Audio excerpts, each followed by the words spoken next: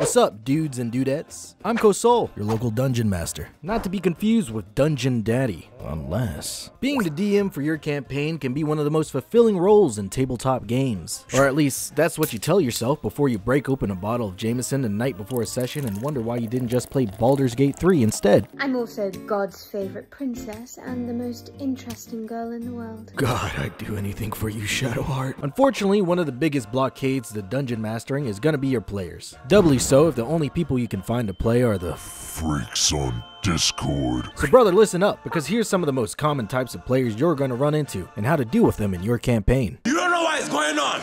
We are making money, you are sleeping, you know? This kind of player is always looking for ways to optimize their character to steamroll all of your encounters. Now, there's nothing inherently wrong with this kind of person. In fact, I like to use them as a Wikipedia page. Sometimes I even try to start a rules argument with them so that I can buy time when I'm trying to make things up. But you're soon gonna realize they're the one person that's gonna keep your party from team killing itself. Why? Because nobody else will learn their class. Why aren't more people encouraging?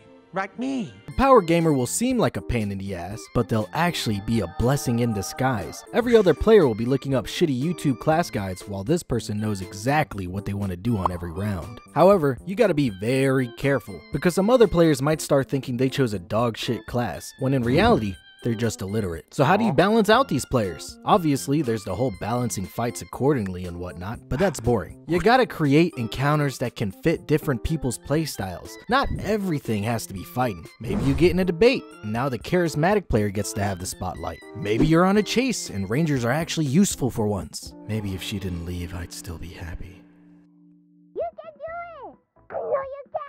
Oh, um, uh, I forgot you're here. With the rise of TikTok and Twitter, oh, my bad, X videos, sorry, there's a certain phenomenon that's occurred where an incredibly large amount of people now believe that they are funnier than they actually are. Um, I, I can't take this picture seriously. Um, yeah, I, I, I guess that's better. This tends to lead to players creating meme characters, which may be funny in the moment, but you also gotta listen to your friends' awful character ideas for however long they're alive. Becoming stale is the mortal enemy of the memer. I have a theory that memers are scared of roleplay and emotional connection, hence why they try to fight off awkwardness with comedy. Let me introduce you to Operation Honeypot. Listen up, soldier. You have to lure them into being interested in your story by disguising it as something else. They see an event and think, Wow, this is gonna be so funny. My friends will appreciate my character's interactions with this event. when in reality, you're slowly setting up serious storylines involving their backstory. Because the memer doesn't think of anything past the one sentence they sent you during your session zero. It's fine to have a funny character, but we require substance here. Remember, the memer is easily manipulated. You don't even have to railroad them. Just set out the bait and let the rats come out to feed. This player basically can't go the entire session without hitting a little bit of the doobie. And to be honest with you, there isn't much you can do about it. Because if they oh. can't go three hours without smoking, they're probably more knowing sober. You're just gonna have to deal with them not paying attention sometimes, or forgetting things. That's just a wacky tobacco life for you. Now, not every stoner is like that, but it happens to enough people that we might as well cover it. Think of the stoner as a dog. You put a pile of meat in front of them, they can't control themselves. You gotta pace them with a few treats here and there. Assuming that they are actually affecting the enjoyment of the campaign and other players, you gotta assert your dominance as the dog's owner. Put your foot down and tell them not to smoke as much. And if they can't do that, then maybe it's time to take old Smokey to the back of the shed.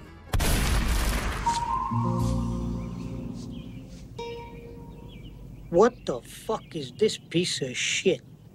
These kinds of players are probably one of the more difficult ones to deal with as a DM. They make it their goal to cause as much chaos as they can in your homebrewed story, all because their little alignment tells them they can. Well, you're the DM, and you're not gonna get out chaos by a little piss baby, are you? Now anybody can kill a player. That's easy. All you need is a 50 gallon drum, 500 jugs of bleach, 4 magnum con. The key to dealing with these players is consequences. The chaotic dumbass is like a rich frat guy that never got beat as a kid. Everything was made for them, so they go about the campaign with no care for themselves or the rest of the party. But Hermano, you're the DM. You're the hit of fentanyl laced coke that's about to ruin an entire family line. NPCs aren't just gonna be stepped on. You gotta craft punishments that hurt them, but not too much that they think you're targeting them, which you totally are. But if you don't say anything, who knows? And honestly, I find their wacky antics make the campaign more entertaining for me as the DM. If you really want to make it spicy, have their decisions affect the rest of the party too. Then you might actually have people trying to keep them from doing stupid things. Uh, just note this might lead to real life altercations, in which case I take no responsibility for my advice. By the time you come back, I'll have already rebranded to an ASMR